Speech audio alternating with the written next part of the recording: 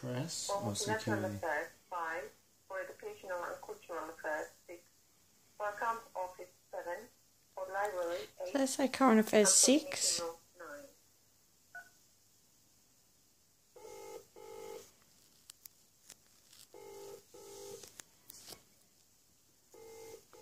So I don't know if I've called the right.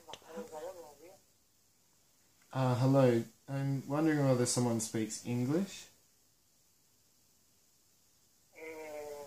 what do you need? I'm I'm just wondering whether or not you can confirm whether Julian Assange is alive and well within the embassy. We cannot respond to this kind of question. Uh, why is that? Do you mind if I ask why that is? No. So you can't confirm at this stage whether Julian Assange is alive and well within the embassy.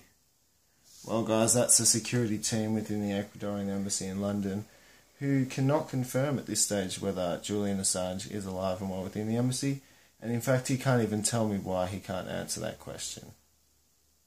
And he hung very up on suspicious you. to me, and then he hung up on me.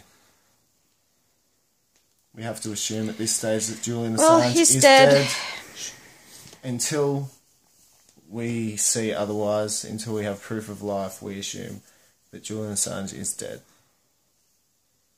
And Hillary Clinton is, I'd say, the obvious suspect.